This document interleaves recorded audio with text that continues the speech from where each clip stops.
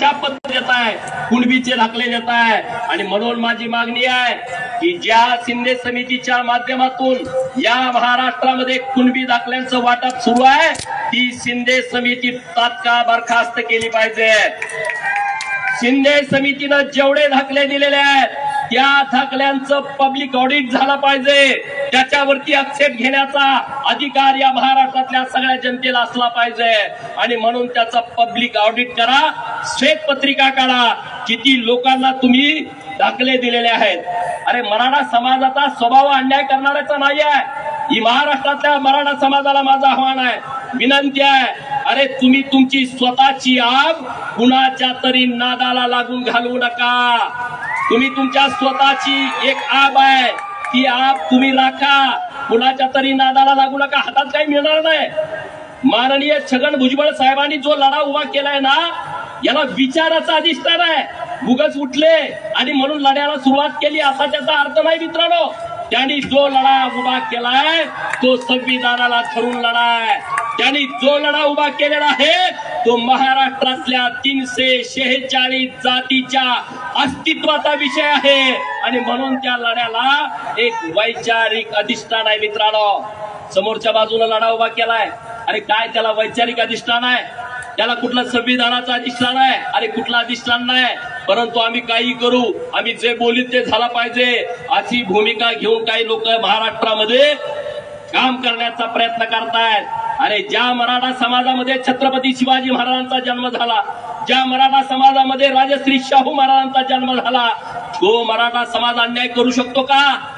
अन्याय करणाऱ्यांच्या विरुद्ध ही मराठा व्याख्या आहे. अन्याय करणाऱ्यांच्या बाजूला उभा राहणार ही मराठा व्याख्या होऊ शकत नाही. म्हणून महाराष्ट्रातल्या शुद्ध मराठा समाजाने पुढे यावा.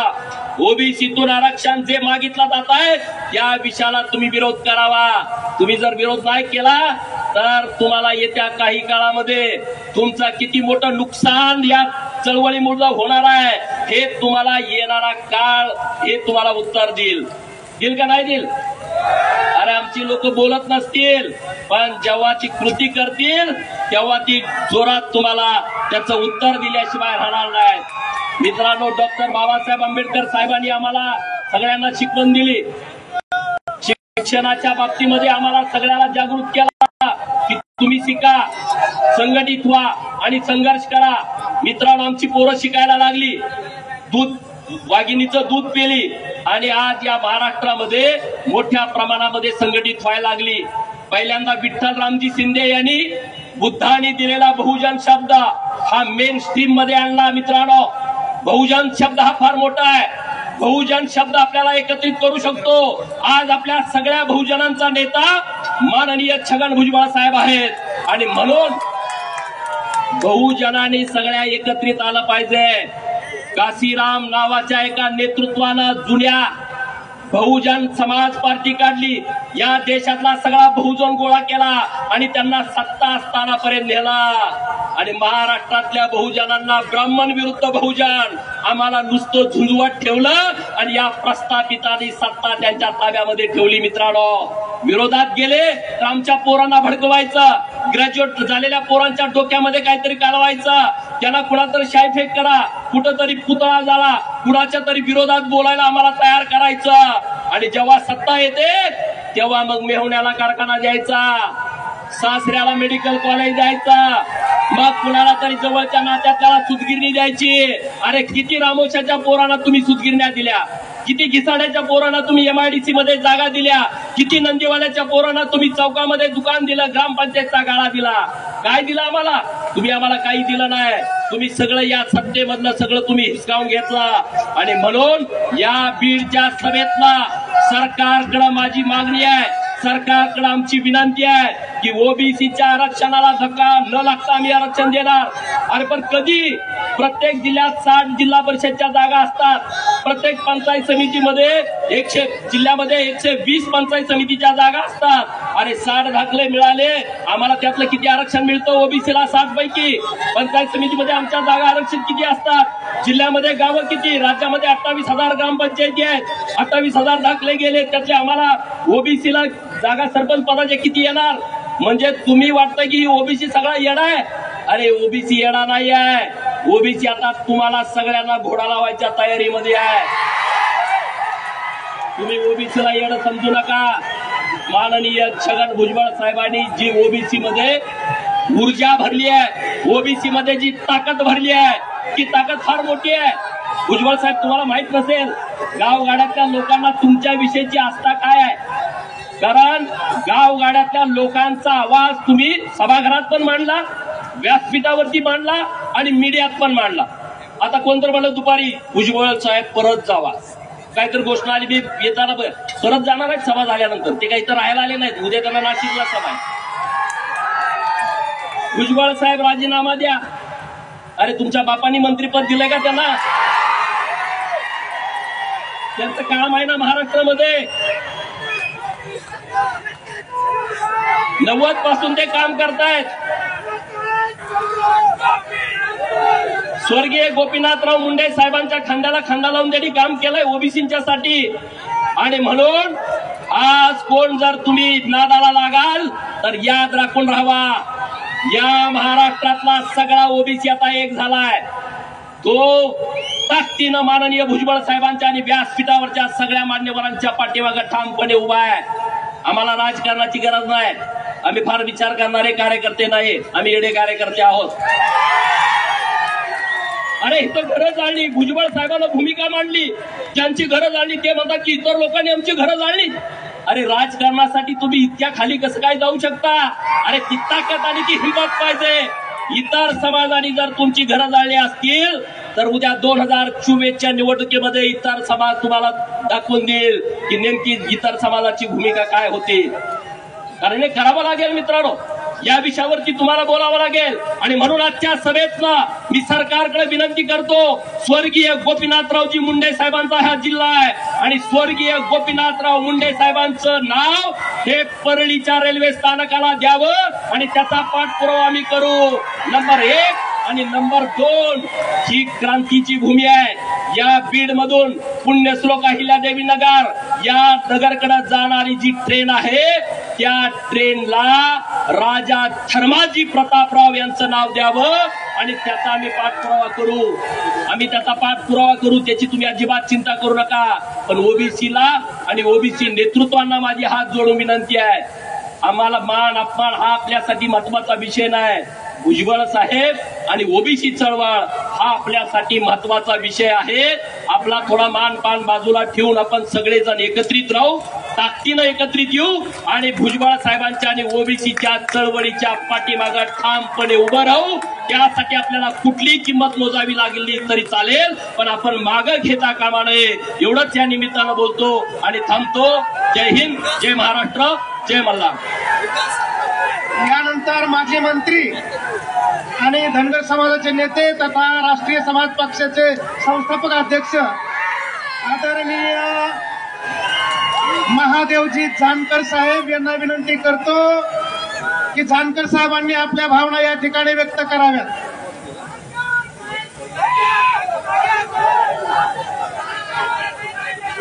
मेरी अ, अली जनाब बिरबल साहब से एक नम्र विनंती है कि शिवसागर साहब के जो घर के।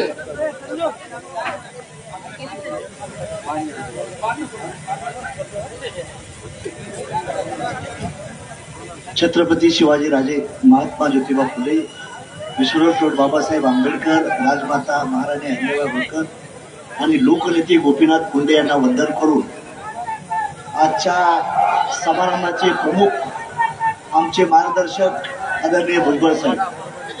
भुजबळ साहेब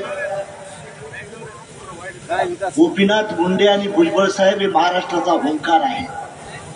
ज्या गोपीनाथ मुंडेनं मला मानस पुत्र मानलेला आहे त्या गोपीनाथ मुंडेंच्या बद्दल मी एवढंच सांगेन. भुजबळ साहेब मुंडे साहेब आज हयात नाहीत. ती जागा तुम्हाला भरून काढायची आहे. आणि महात्मा फुलेच्या विचारानं काढायची आहे. No BJP no Congress Chhagan Bhujbal तुम्हाला मुख्यमंत्री होणे शब्द पूर्ण करायचा आहे.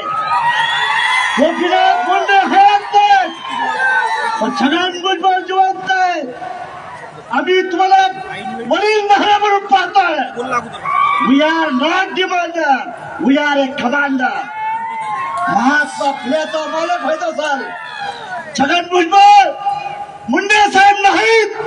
मी आज तुमचं पाय धरणार आहे. राज्याचा मुख्यमंत्री म्हणून तुमचा जन्म व्हावा. आम्ही कड्याचा पाणी करा.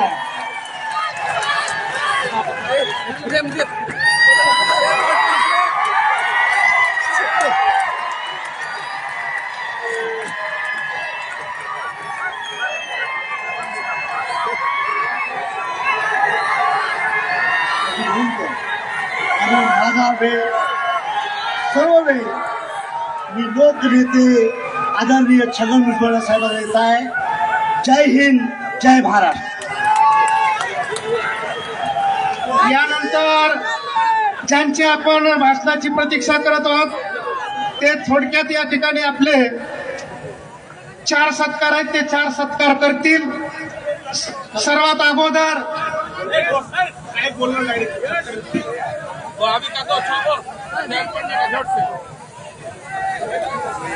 Shoot,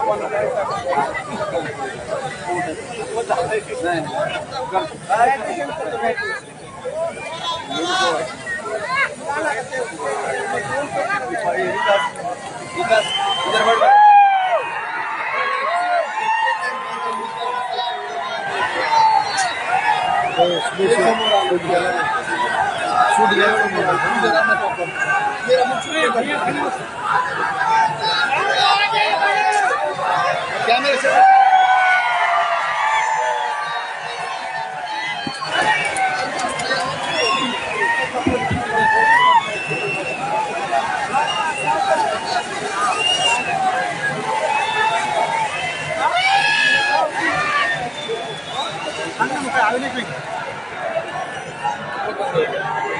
या ओबीसी एल्गार सभेसाठी या सभा मंचावर उपस्थित असलेले आणि ज्यांनी आपल्या सगळ्यांना मार्गदर्शन केले ते आमदार महादेवराव जानकर आमदार Gopinath Gopichand Padalkar Prakash Shendge Shabbir Ansari saheb Narayanrao Munde T P Munde Laxmanrao Gaikwad Kalyan Dale Daulatrao Shitole Sachin Sathe Chandrakant Bavkar P T Chavan Sudarshan Gherde doctor Sneha Sonkate आणि तुला? ज्यांनी ही भव्य rally आपल्या खांद्यावर घेऊन जी यशस्वी करून दाखवली ते समता परिषदेचे आमचे एक नेते सुभाष राऊत आणि त्यांचे सर्व सहकारी. माझ्या बांधवांनो भगिनी आणि मातानो सर्वप्रथम मी कैलासवासी गोपीनाथराव मुंडे यांना आदरांजली अर्पण करतो. आणि हे तर खरंच आहे. ते जर असले तर हे सगळे प्रश्न निर्माण झालेच नसते. पण ओबीसीच्या नशिबी दुर्दैव आलं. ते आपल्यामध्ये नाहीत. आणि संकटाची माळ जी आहे ओबीसी नेते कार्यकर्ते आणि ओबीसीचे लोक यांच्या पाठीमागं सुरू झाले.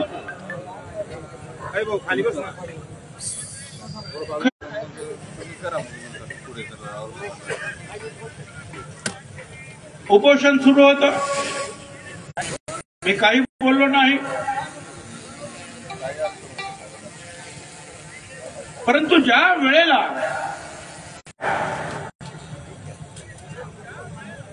हे सुभाष राऊत मंत्रालयात माझ्यासमोर बसलेले होते माझ्या चेंबरमध्ये. आणि अचानक टीव्हीवर त्यांनी सांगितलं की साहेब प्रकाशराव सोळंकी यांचं घर पहा पेटवलंय धडाधड धडाधड.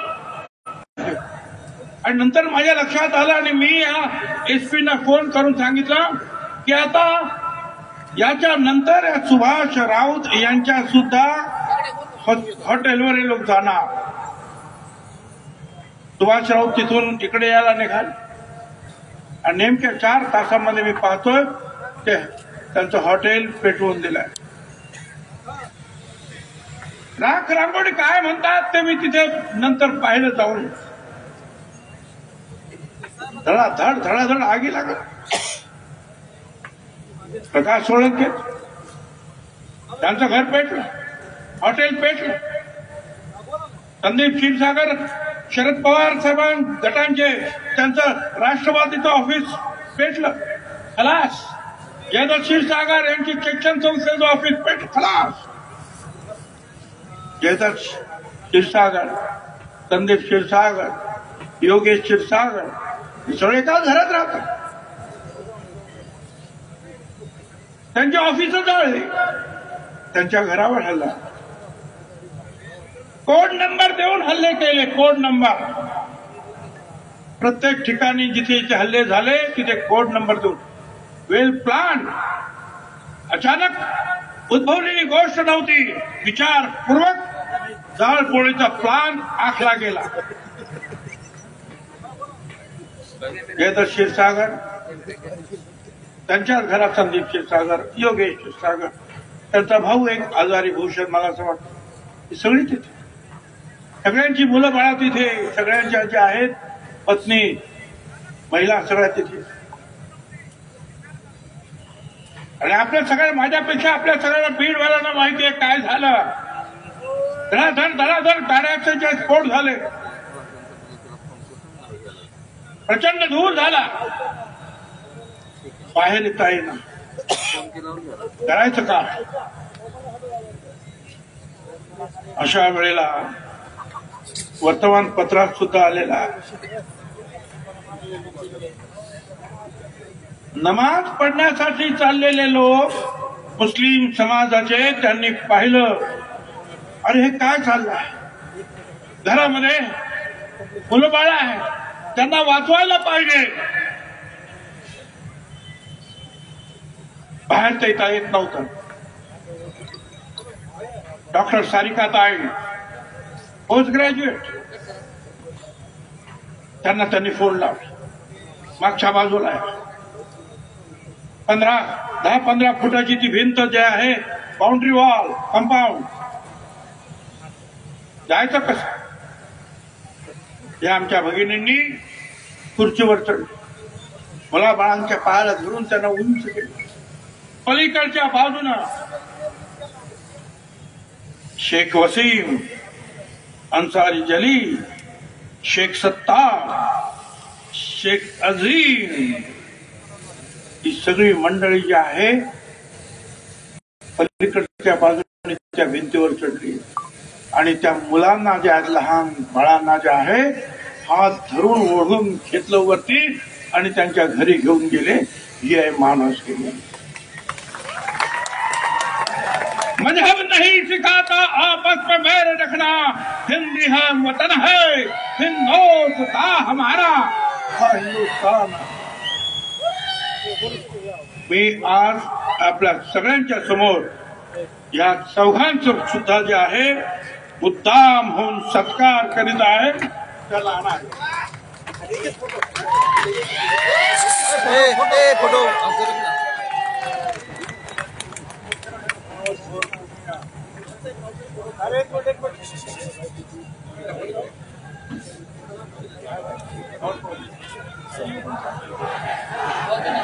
हा साहेब असं बघा मुस्लिम समाजाचे हे कार्यकर्ते हे लोक माणुसकी म्हणून जे आहे ह्या लहान कच्च्या बच्चांना वाचवण्यासाठी आपली प्रार्थना त्यांनी बाजूला ठेवली आणि ह्या लोकांना वाचवणं हाच खरा धर्म आहे हे या लोकांनी तुम्हाला आम्हाला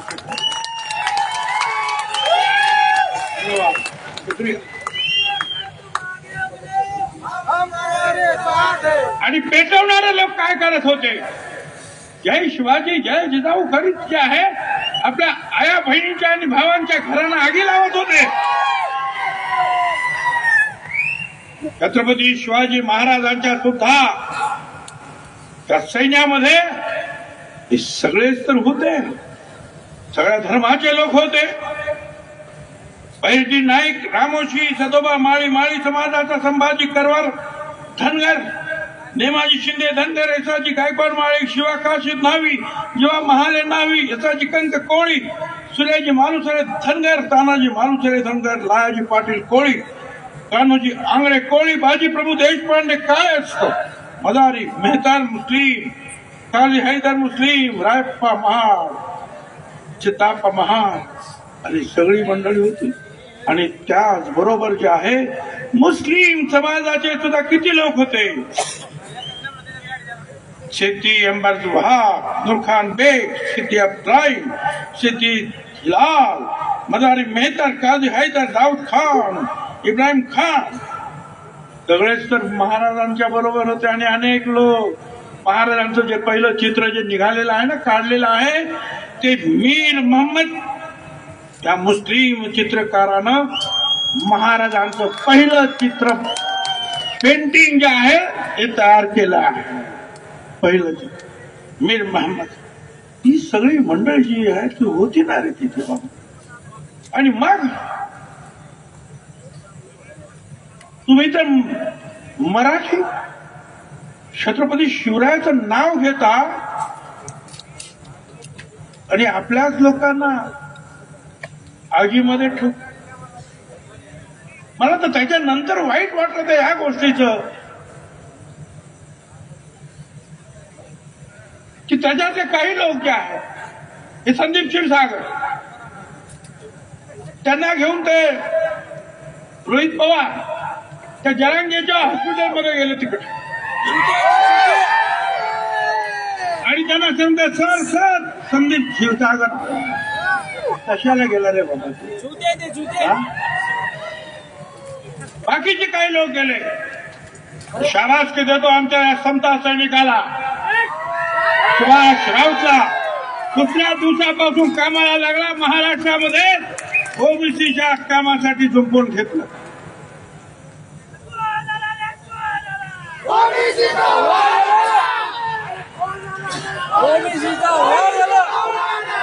मला मला सुभाष सुभाषला सांगा ते सुभाष राऊतला काम करीत रहा. अरे लग गई आग जमाने में. लग गई आग जमाने में तो बचा क्या है? अगर बच गया तू तो जला क्या है?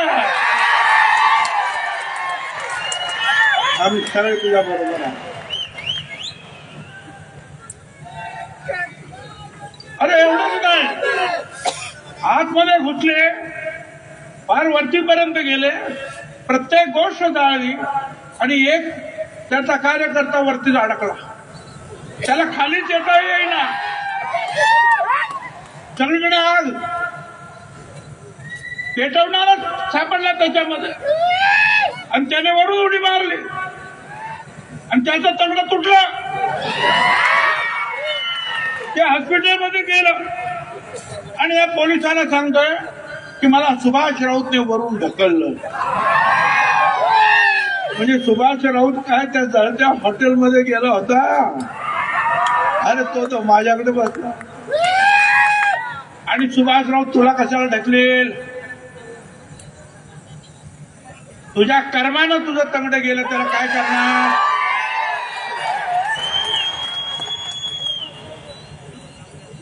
बोलण्यासारखं खूप आहे कालच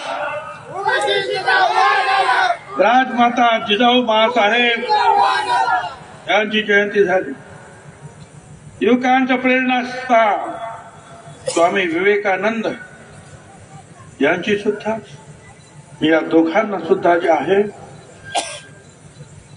आदरांजली अर्पण करतो आणि आपल्या मगाशी शीतल साठे सचिन माळे यांनी जे गायलं त्या जिजा मातेनं जे आहे या सगळे बारा बलुतेदार ओबीसी समाजाचे भटक्या विमुक्त समाजाचे सगळे बसलेले आहेत. वेगवेगळे आहेत. आप आपले कोण? गारुड्या कोण माझी आईवाला आहे? कोण आई? कोण सुतार आहे? कोण लोहार आहे? कोण काय आहे? कोण सगळे या सगळ्यांना बरोबर घेऊन महाराजांना ताकद दिली. इतिहास वाचा इतिहास वाचताना असं कोणी म्हणत नाही की शिवाजी महाराज मराठा सैनिक घेऊन लढले. इतिहासात हेच नमूद आहे की छत्रपती शिवाजी महाराज मावळ्यांना घेऊन लढले. ते हे मावळे आहे. ते मावळे हे आहे. पण आता छत्रपतीचं नाव घेतलं जात आहे. आणि आमच्यावर हल्ले केले जात आहे छत्रपतीसाठी प्राणाची बाजी लावणार ते हे बसलेले आहे तिकडे त्यांची तुम्ही घरं पेटवता? लायकी काढतात. मगाशी सांगितले सगळे महाराजांबरोबर लढलेच अनेक संत वाङ्मयकार या ओबीसी समाजाने दिले. ना आमची लायकी काढ संत जगणारे महाराज केली संत नामदेव शिंपी संत सेना न्हावी चावता माळी चोखा मेळा महा संत खोरा कुंभार नरली सोनार रोहिदास चर्मकार जगद्गुरु संत तुकाराम कुणबी समाज लायकी काढते आमची. आम्हाला एवढं दुःख झालं. डॉक्टर बाबासाहेब आंबेडकर ज्यांनी या देशाचं संविधान लिहिलं घटना लिहिली.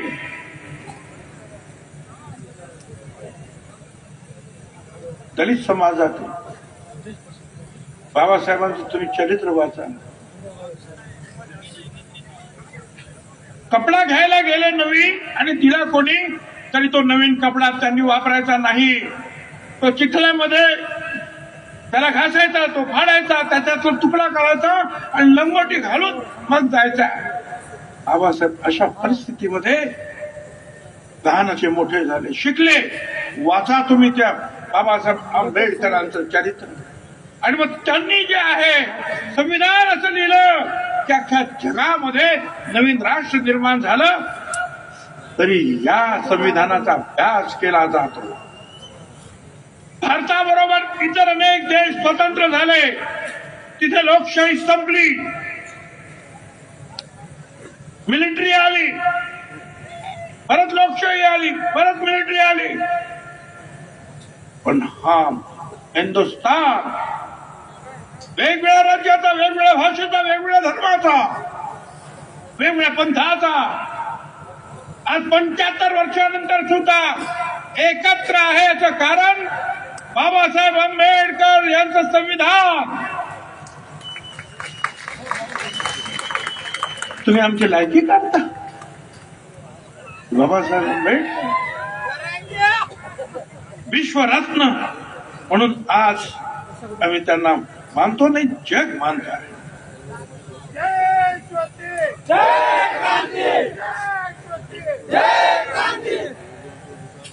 मगाशी सांगितल्याप्रमाणे गोपीनाथराव मुंडे यायला पाहिजे या आपल्यामध्ये राहायला पाहिजे या बीडमध्ये मोठे मोठे नेते आहेत.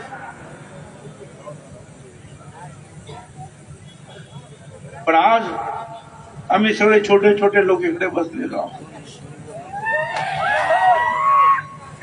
कोणी काय कारण सांगतात? कोणी काय कारण सांगतात? त्या सगळ्यांना मला सांगायचं आहे.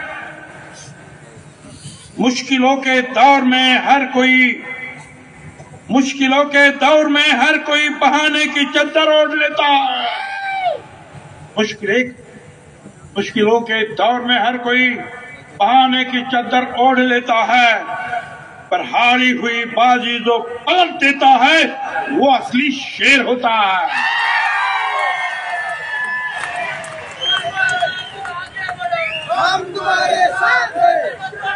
दोन शब्द आमचे। समोरचे जे आहेत बलदंड आहेत. बोलवून बोलून त्यांना सगळी मदत दिली जाते. आर्थिक मदत दिली जाते गाड्यांची मदत दिली जाते. उपोषण करते त्यांचे आले तर दोनशे जेसीबी उभे राहतात हेलिकॉप्टरची फुलं. लेकरं गरीब आहे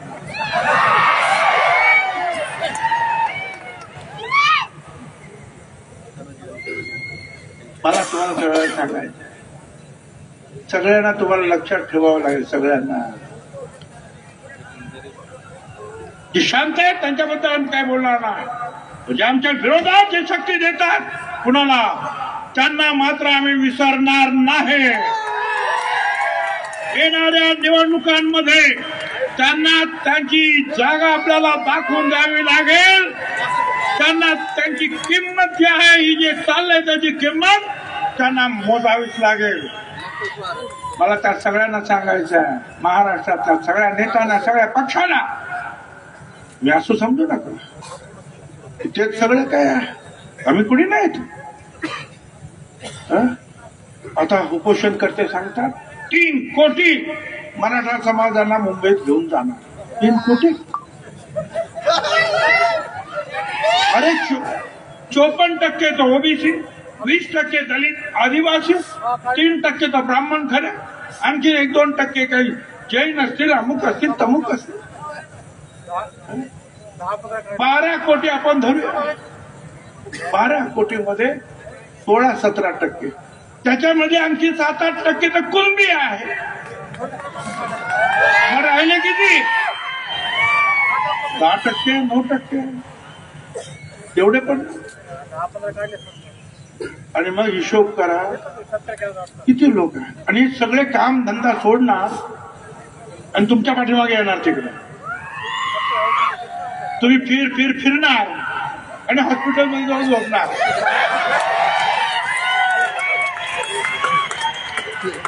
चक्कर मारणार. काय जवान नेता हा हा. दोन चार मिटिंगा घेतल्या हॉस्पिटलमध्ये झोप. मग हे आमच्या सगळे टीव्ही वाले जाणार हा मग असं असं अमुक कसं बोला तसं मुख कसं बोला. ते आमचे अजित दादा. अजित दादा एवढंच म्हणाले की मुंबईमध्ये जे आहे जे काही येतात ते आले तर त्यांनी कायदा व्यवस्था बिघडता कामा नाही एवढी काळजी घ्यायला पाहिजे. मग त्यांच्या विरुद्ध या गलिच्छ भाषेमध्ये तुम्ही बोललात. राज्याचा उपमुख्यमंत्री बघा काय बोलले ते. त्या युट्यूबवर अजूनही आहे. किती घाणेरडं बोला आणि काही सुसंस्कृतपणा? काही बोलणार तोंड दिलंय देवाने म्हणून काही बोलणार तेवढी मस्ती कुठून आली रे बाबा तुला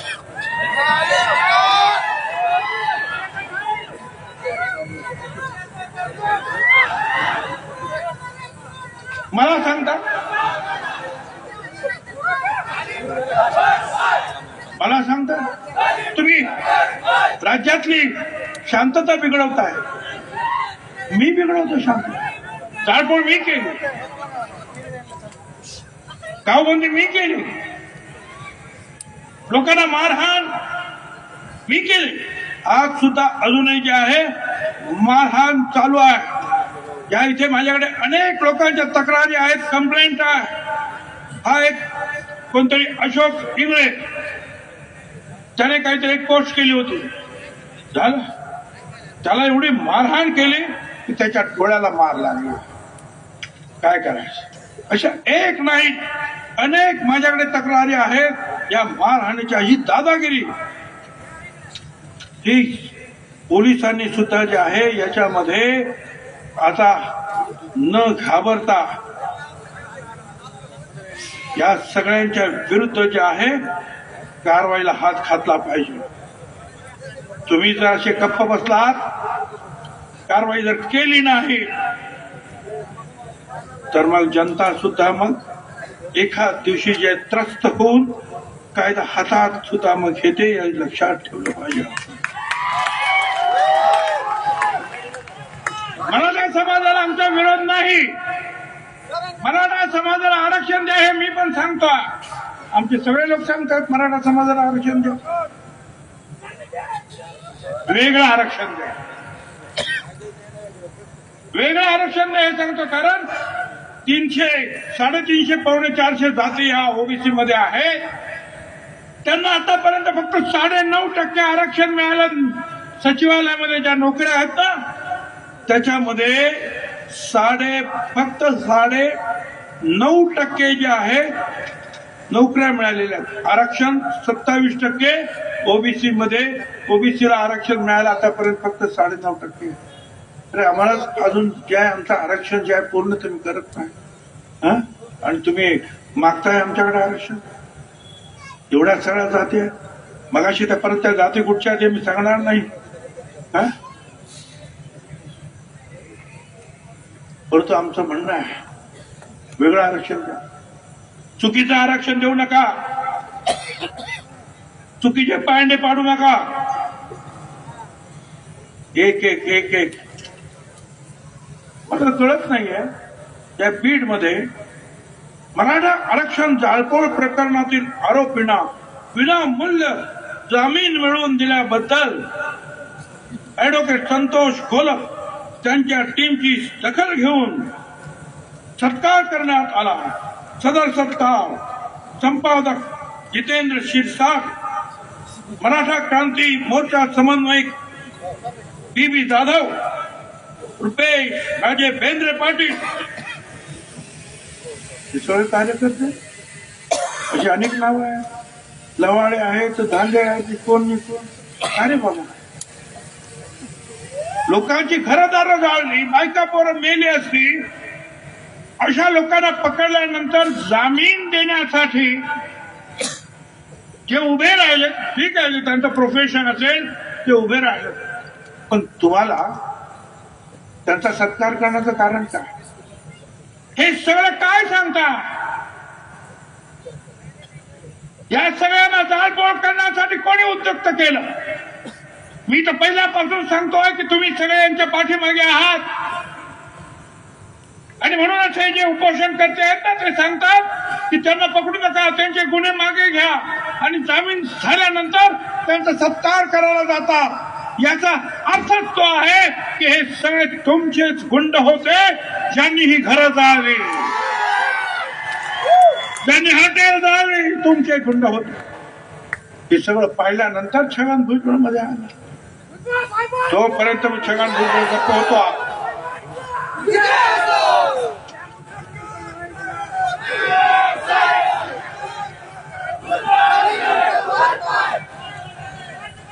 उपोषण करते.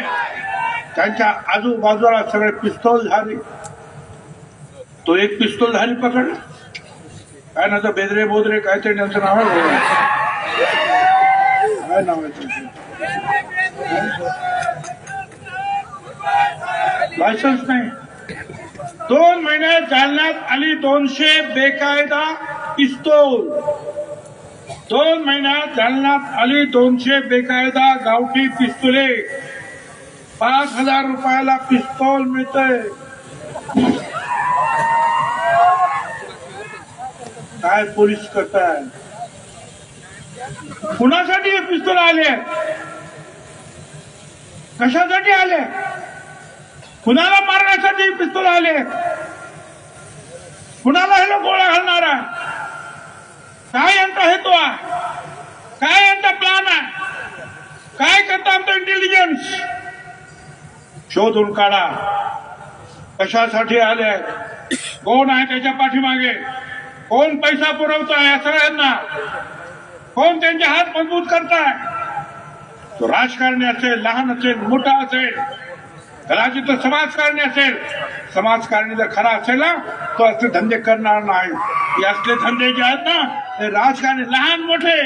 कुणाला जिल्हा परिषदेला जायचंय कुणाला आमदार केला जायचंय कुणाला खासदार केला जायचंय? जे आहेत ते भीतीने मदत करतायत ज्यांना व्हायचंय ते काहीतरी आणखी मतं आम्हाला मिळतील म्हणून मदत करताय. अशा रीतीचे जे गुंड करणारे गुंडगिरी करणारे जे लोक आहेत त्यांना पाठिंबा देणार त्यांना पैसा पुरवणार गाड्या पुरवणार त्यांच्या पाठीशी कधीही उभे राहू नका. त्यांना त्यांची जागा दाखवून द्या. काही काही लोक जातात? काही? राजकीय अधिकाऱ्यांना? राजकीय? राष्ट्रीय नेत्यांना सांगता आमचा येणार आहे मुंबईमध्ये मोर्चा. आमच्या पाठीशी उभे राहा अरे आणि तेही सांगतात काय काय? आमच्या महिला भगिनी पण सांगतात मोठ्या नेत्या मी आहे तुमच्या पाठीमाग. मला सगळ्यांना सांगायचं मला विचारायचं आहे. कोणाच्या पाठीमागे तुम्ही राहा? मराठा समाजाला वेगळं आरक्षण द्या. ज्या मागणीसाठी तुम्ही पाठीमागे राहणार असाल त्यांच्या माझं म्हणणं नाही.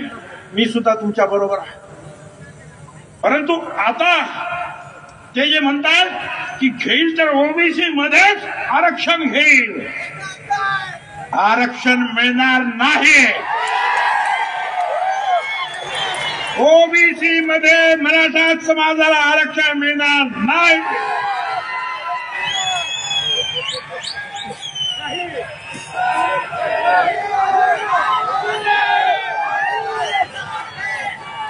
अरे चार चार. चार चार आयोग खत्री आयोग बापट आयोग असे अनेक आयोग आले.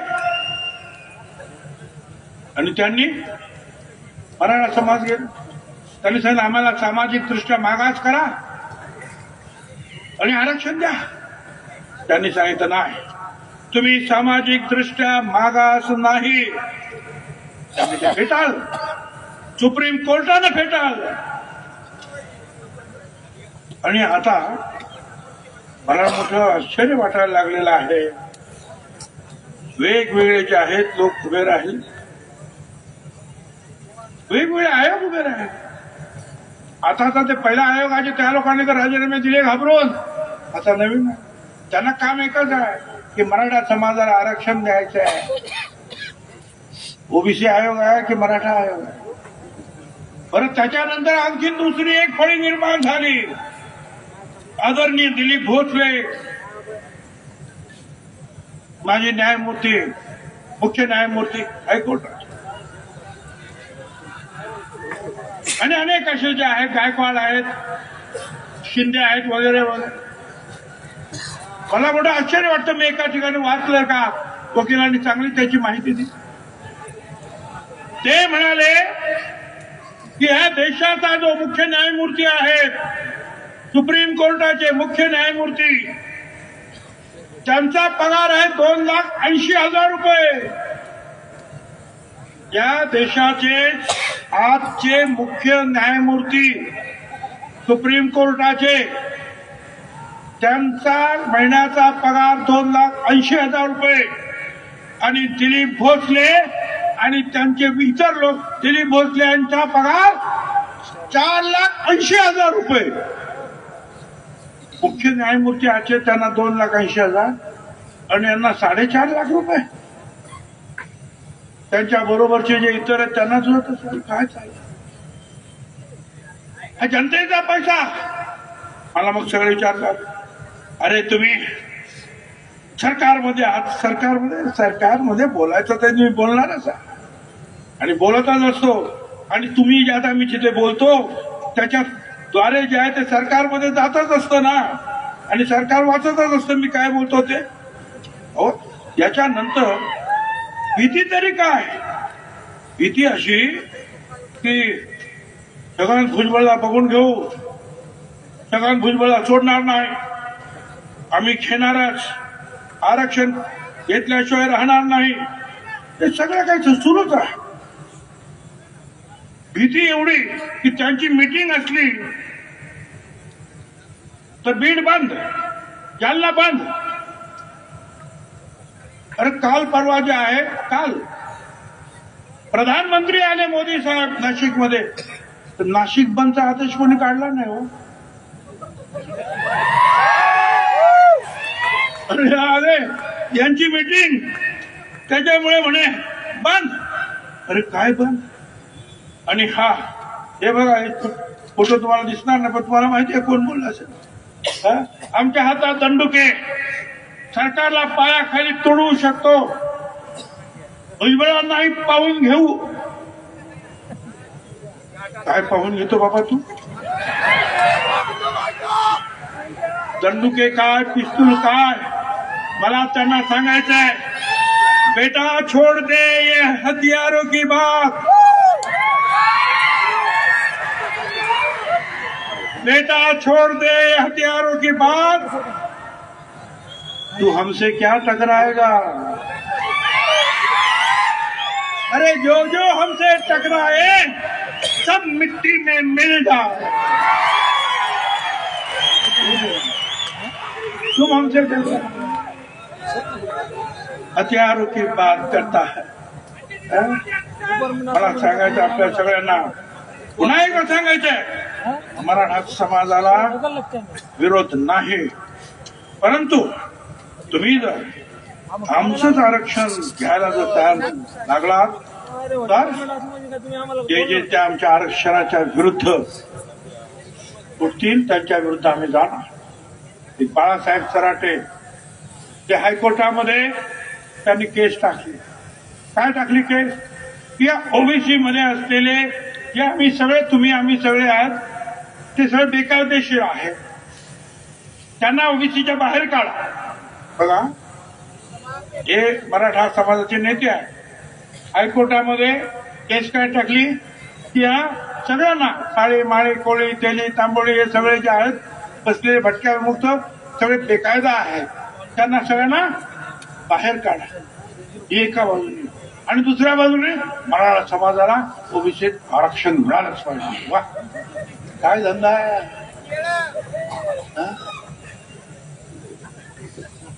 मला काय समजत मला सरकारला सांगायचं आहे. ओबीसीच्या आरक्षणाला रस्त्यावर काय किंवा कोर्टात काय? धक्का लागता कामा नये त्याची काळजी जबाबदारी सरकारची आहे.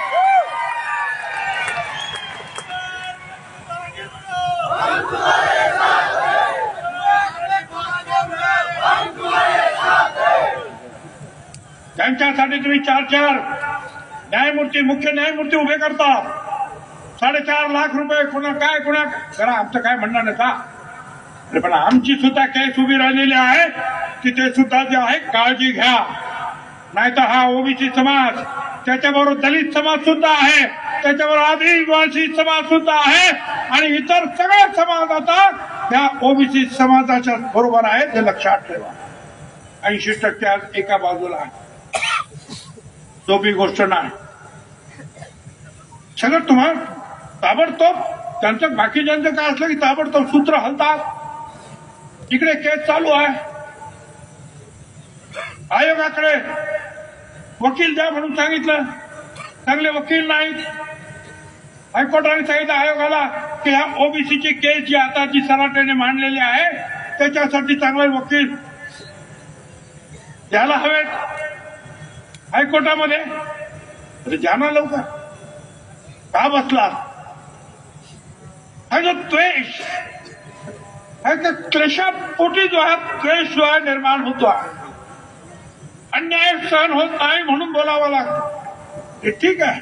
आमचे सहकारी म्हणतात मुख्यमंत्री वगैरे काय नको बा, तुमचं मुख्यमंत्री पद नको ना मंत्री पद नको आणि आमदारके नको आहे. मला पाहिजे हे जे मागासवर्गीय जे आहेत गोर गरीब असतील दलित असतील आदिवासी असतील भटक्या विमुक्त असतील गोर गरीब सगळे त्यांच्या हक्काचं संरक्षण करणं हे तुमचं आमचं काम आहे. अरे बाबासाहेब आंबेडकर त्यांनी सुद्धा या गोरगरिबांच्या संरक्षणासाठी संविधान लिहिलं. त्या संविधानामध्ये दिलेलं जे आरक्षण आहे हे वाचवणं तुमचं माझं काम आहे. आमची लायकी नाही. मी तुम्हाला वारंवार सांगितलेलं आहे. की आमचे लोक सर्व परीक्षेमध्ये इतरांप्रमाणे चांगल्या मार्कानं पास होतात. ओपनमध्ये शहाण्णव पूर्णांक पाच टक्के ओबीसी वाले सुद्धा शहाण्णव पूर्णांक पाच टक्के आणि विजय एनटी वाले ते सुद्धा शहाण्णव पूर्णांक पाच टक्के. ही पोरं आमची पण हुशार आहे आमची लायकी नाही म्हणून तुम्ही सांगता. तुम्ही या ठिकाणी माझा एकच हात जोडून विनंती आहे. तुम्हाला उतरावं लागेल या लढ्यामध्ये. सांगण्याची पाळी येता कामा नये आम्ही कायदा हातात घेणार नाही. पण संविधानाने जे आम्हाला बोलण्याचा अधिकार दिलेला आहे तो अधिकार गाजवल्याशिवाय आम्ही राहणार नाही. सभा घेण्याचा आम्हाला अधिकार आहे. आमचं दुःख मांडण्याचा आम्हाला अधिकार आहे. आम्ही कोणाची झाडपूळ करणार नाही. अरे आम्ही पेटवणारे नाही आम्ही पटवणारे आहोत. आम्ही मोडणारे नाही. आम्ही घडवणारे आहोत. आम्ही कोणाला त्रास देणार? जाळणारे नाहीत. आम्ही जुळवणारे आहोत एकमेकांना. तुम्ही आमची घरं जाळाल तुम्ही आमच्यावर हल्ले कराल तुम्ही सांगाल यांचं आरक्षण आम्हाला द्या. आणि आम्ही गप्प बसू तर आम्ही सुद्धा मेल्या आईचं दूध प्यालेलं नाही. हे सुद्धा लक्षात ठेवा. आणि माझी तमाम मराठा समाजाच्या नेत्यांना विनंती आहे की तुम्ही हे थांबवलं पाहिजे. तुम्ही त्यांना सांगितलं पाहिजे. तुम्ही गप्प बसला म्हणजे हा जो गुन्हा घडतोय हा जो अन्याय ओबीसीवर होतोय त्याच्यामध्ये सहभागी झाल्याचं पातक तुम्हाला लाभ मला तुम्ही सांगता. त्यांना जाऊन सांगा. ओबीसीतून आरक्षण मागणं चूक आहे. जाळपोळ करणं चूक आहे. जिवंत कारतूस बाळगणाऱ्या बरोबर संबंध ठेवणं चूक. पोलिसांवर हल्ले करणं चूक. गुन्हे मागे घेण्यासाठी दबाव टाकणे चूक. गाव बंदी करणं चूक. एखाद्या समाजासाठी त्याच्या मागणीसाठी शहर बंद करणं लोकांना वेठीस जाणं चूक. अमुक तारखेपर्यंतच आरक्षण द्या. बालिश मागणी करणं चूक. सरकारला वेटील सर चूक आहे.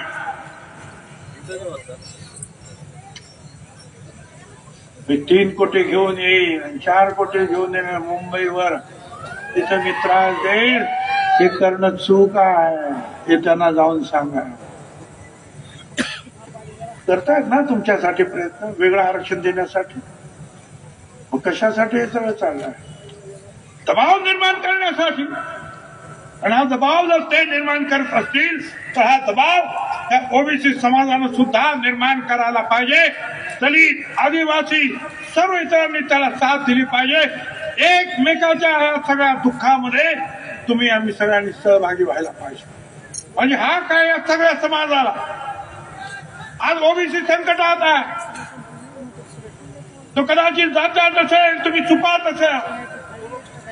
दुपातले कधीतरी जातात येते लक्षात ठेवा म्हणून प्रत्येकानं एक दुसऱ्याचं आरक्षण जपण्यासाठी एकमेकाला सहकार्य केलं पाहिजे.